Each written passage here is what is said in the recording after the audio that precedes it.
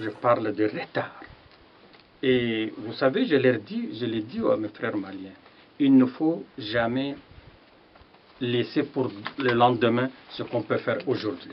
S'il y a quelque chose que je déplore, c'est le rythme de la mise en œuvre de l'accord.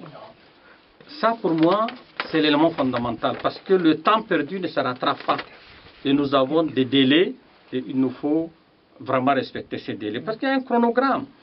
Et aujourd'hui, par exemple, on peut dire que depuis quand même la signature de l'accord, j'ai dit, les textes réglementaires ont été déjà tous pris pratiquement, promulgués.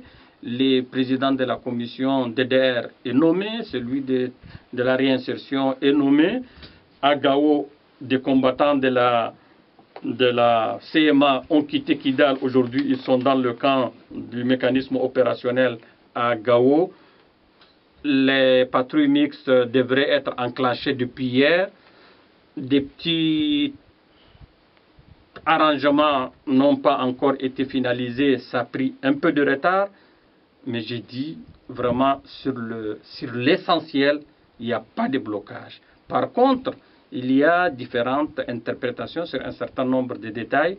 Je le déplore. J'ai dit il faut qu'on aille à l'essentiel. On peut continuer les patrouilles mixtes, on peut mettre en place les autorités intérimaires, on peut faire en sorte que nous puissions avancer tout en continuant euh, le dialogue, les discussions. Et c'est pour dire que si vraiment nous nous engageons réellement, on peut faire avancer les choses. La preuve en est que le 20 novembre, vous avez vu, qui aurait cru qu'on allait organiser des élections aussi transparentes, aussi inclusives, même si je sais qu'il y a une centaine de communes où il n'y a pas eu des élections, mais au moins, comme je l'ai dit dans mon message aux Maliens, qui aurait cru, même dans des pays qui sont en paix, des élections comme celle-là. Donc ça veut dire que si les frères maliens mettent de la volonté, on peut faire des choses.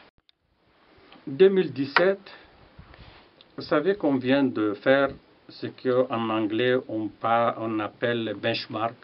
C'était des critères de progrès qu'on a identifiés entre le gouvernement et nous pour dire qu'en 2017, voilà ce que nous devrons faire en janvier, en février jusqu'à la fin de l'année.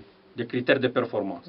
Où l'aménagement prend sa part, le gouvernement prend sa part, et ainsi, à la fin de l'année, on pourra faire l'évaluation, qu'est-ce qu'on n'a pas pu faire, qu'est-ce qu'on a pu faire, et qu'est-ce qui nous a, pas nous a empêché de, faire ça ou cela? Donc je crois que ceci nous, nous, nous permet désormais de savoir la part de responsabilité du gouvernement, des mouvements, de l'aménagement en tant que partenaires ensemble pour que chacun joue sa partition afin qu'on puisse. Et donc, ce que nous visons, c'est quoi C'est que mon rêve, c'est que quand même, à la fin de 2017, qu'on ne puisse plus parler des autorités intérimaires. Qu'en 2017, on ne puisse plus parler des DDR. Qu'on aura bouclé tout ce processus. Parce qu'aujourd'hui, j'ai quoi? J'ai huit sites de cantonnement qui sont prêts et je n'ai pas les combattants qui sont cantonnés pour être.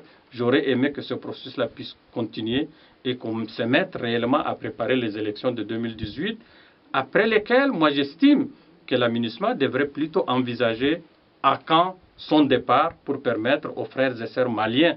Et entre-temps, il faut que l'armée malienne couvre tous ces territoires. Il faut que les autorités administratives, vous savez que à l'heure actuelle, il n'y a que 30 à 40% des autorités administratives, sous-préfets et préfets, dans le nord du Mali. J'aurais aimé qu'il soit à 100 que l'armée couvre tous les territoires maliens et que l'aménagement puisse envisager réellement un retrait progressif. Nous sommes à la veille d'une nouvelle année. Je l'avais une année de, paix, une année de stabilité et une année surtout de réconciliation nationale. J'ose croire que la conférence d'entente nationale qui est programmée pour mars 2017 euh, puisse permettre aux Maliens vraiment de se parler, de discuter, de diagnostiquer l'origine du mal et de signer un pacte qui permettra aux uns aux autres de le respecter et de faire une paix définitive. Pour qu'on retrouve ce Mali où il y a 10 ans, 5 ans était cité comme un modèle de démocratie, comme un modèle de développement, comme un modèle de cohabitation pacifique entre tous ses filles et ses fils. Merci, son